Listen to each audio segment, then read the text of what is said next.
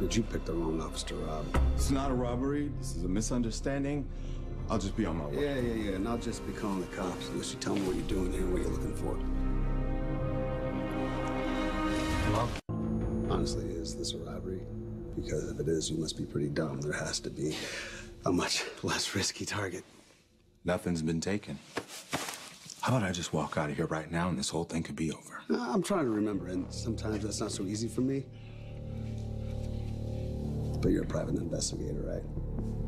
So, who hired you to investigate Sonny? Where's the professional consideration?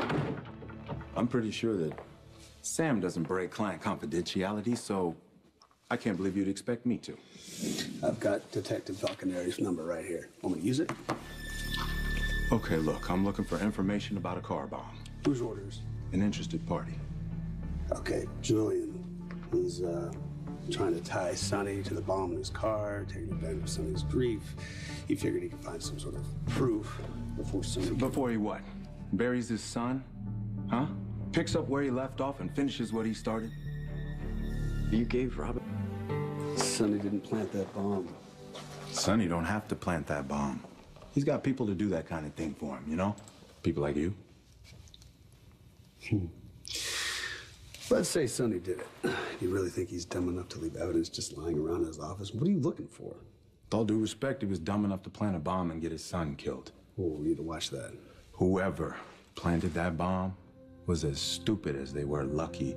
If that bomb was set to go off when the driver keyed the ignition, he could have taken out half of the floating rib, too. How do you know the bomb was rigged? What's it worth to you? It's worth discretion. You weren't here. Okay.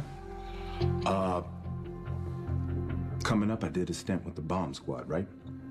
If I had to make a guess, I would say that uh, the device was armed when the driver sat down, and it blew when he took his weight off the seat.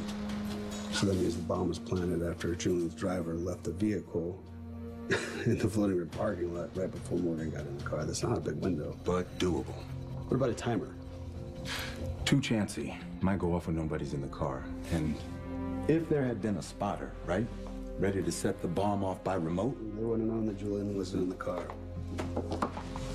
So, if you have questions about the bomb, why don't you just ask the man who set it up? Unless he's already been taken care of.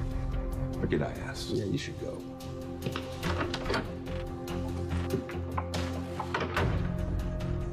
Commissioner.